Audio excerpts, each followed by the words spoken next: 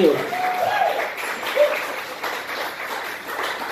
Shout out to Max taking a drink at the end of that song. That's some skill. Look at that dexterity.